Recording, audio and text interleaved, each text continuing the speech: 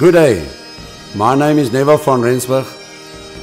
Currently living in South Africa, working in South Africa as a rescue technician in the fire service as well as the ambulance service. Today I want to bring a, a message and the message will be if I could only. Every morning the day started with new challenges for a rescuer, firefighters and paramedics. What is going to happen today?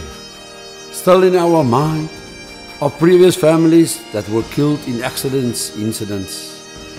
We could only have time to know what type of calls and challenges will be there for the day.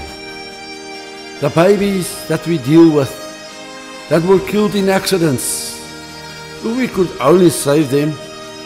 We realized their life was not even started.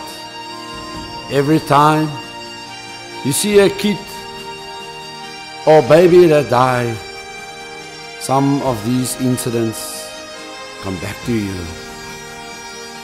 If we could only there immediately or prevented it. There are times when it feels that a heart's been ripped in pieces on some of these incidents.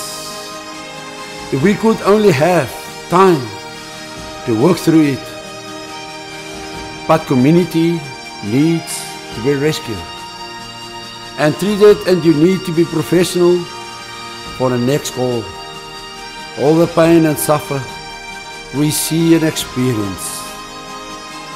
If we could only stop it. When we as partners work together and experience life-threatening situations, prepared to sacrifice ourselves for the community, if we could only have the respect of the community for who we are. Our minds must be like a library. We need to file the experience and pain and continue for the next call. If we could only have time to sort it out.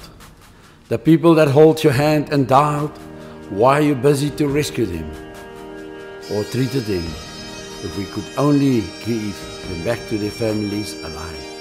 When we got home from a day's work, with a day full of experiences and dealing with injured or dead people, if we could only tell the family that we need some time out to deal with all the challenges of the day.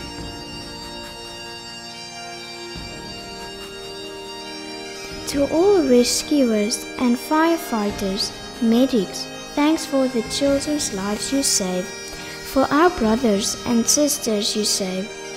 Thanks for all the dads and moms you save. Thanks that you risk your lives to save others' lives.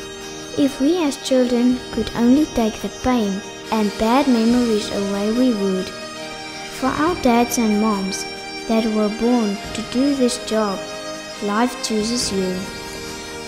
As you grow up and life prepared you to do this work, we as children see sometimes the pain in your eyes.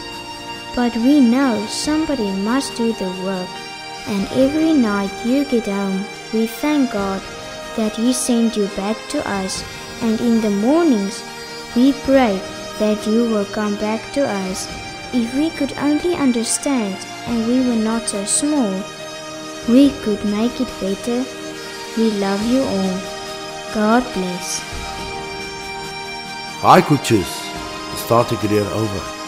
I will again become a rescuer or medic or firefighter.